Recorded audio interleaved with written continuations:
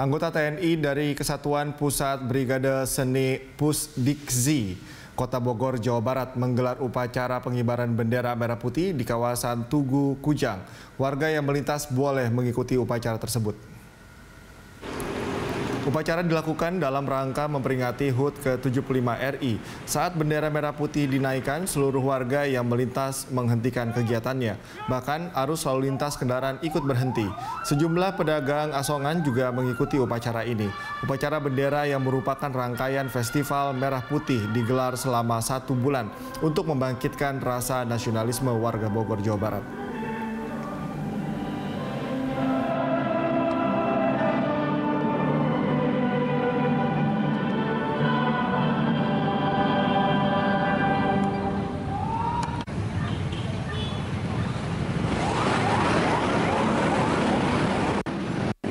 Pada dasarnya kami sangat bangga sekali dapat berpartisipasi hadir di tengah-tengah masyarakat.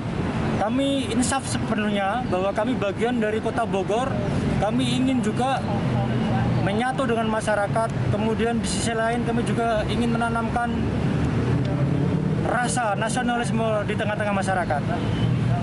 Uh, harapan saya